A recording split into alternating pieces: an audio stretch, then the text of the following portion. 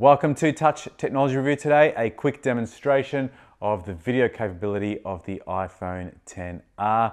I've got the iPhone situated about one and a half meters away from me, mounted onto a tripod, and it's recording this very opening scene. And by way of comparison, I've also got the Canon 5D Mark III on another tripod recording the same scene so I can show you the difference between the professional grade equipment using a full frame DSLR camera and the video you get out of an iPhone. Now, it's not a fair comparison, of course, because the 5D has a much larger sensor, it is professional grade, and it's also using a prime L series lens. So, not a fair comparison, but something that was of great interest to me because I'm using the Canons as my prime uh, technology for producing videos on this channel. But when I was asked a question as to whether an iPhone could replace my equipment, I thought I'd run the test just to see for myself. So what you're going to see is a difference between the quality of the video in the shadows more than anything else. And you've probably noticed it yourself when you take photos on your iPhone in an outdoor environment and there's plenty of sun, the photos look absolutely amazing and would compare to just about any photo taken from a professional DSLR camera when you first look at that image. But when it comes to the shadow areas, when it's darker, you've got interior scenes that aren't well lit, you're probably going to notice a lot of noise and grain. And that's what you can see in the difference between these clips here, that we're in an indoor scene right now. We've got mostly natural light coming in from the left and the right. I've only got a very small LED light bank providing a little bit of illumination on the subject matter. And uh, there's a fair bit of shadow around in the dark areas. And if you were to look at it closely, the iPhone does carry a fair bit of grain. Certainly nothing to be worried about, certainly not going to get in the way of producing a great video, and certainly given the, the environment we're in now, where it's really more about the content itself and the story that you're telling, it's not so important to be focused and fixated upon the quality. But just so you know, there is a difference in terms of quality between an iPhone and a DSLR camera, despite the marketing and advertising suggesting otherwise.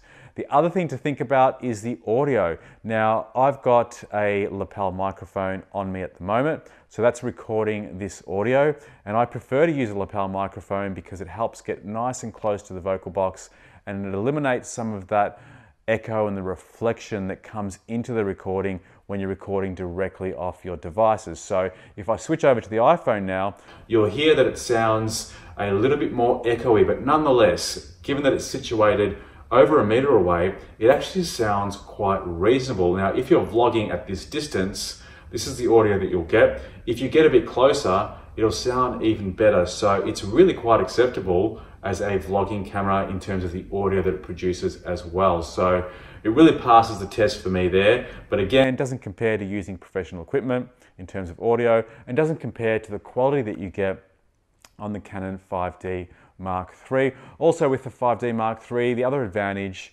again unfair, is that I get to use an L series prime lens.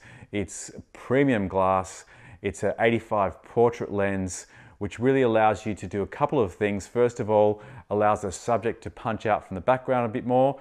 It also allows you to play around with the background blur and it helps you to isolate the subject further. So there's a number of reasons why using a prime lens is superior to using a built-in lens on any smartphone. So there's a difference just as a test, a matter of interest just to see what the difference would be. In my final summary of it all, I would have to say that as a vlogging camera, you could definitely get away with using the iPhone XR.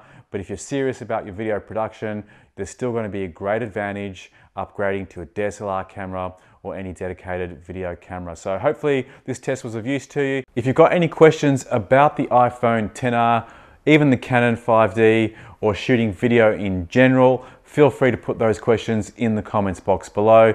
If there's other things you'd like me to present on this channel in relation to the iPhone, shooting video, any other topic whatsoever, also feel free to make those suggestions in the comments box. And don't forget to hit the subscribe button and the notification bell next to it so you'll be notified of up and coming video releases. Thanks for watching. See you on the next video. Bye for now. Bye.